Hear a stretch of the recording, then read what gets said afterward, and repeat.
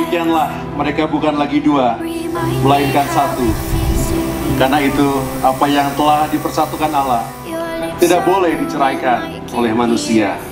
Dan kiranya Tuhan memberkati engkau dan melindungi engkau dan memberi engkau damai sejahtera. Amin.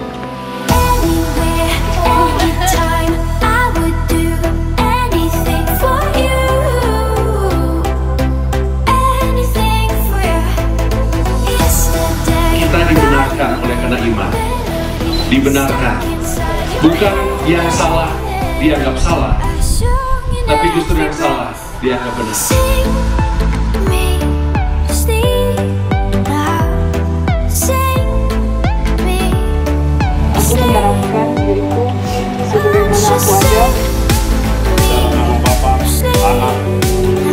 Kudus. Amin.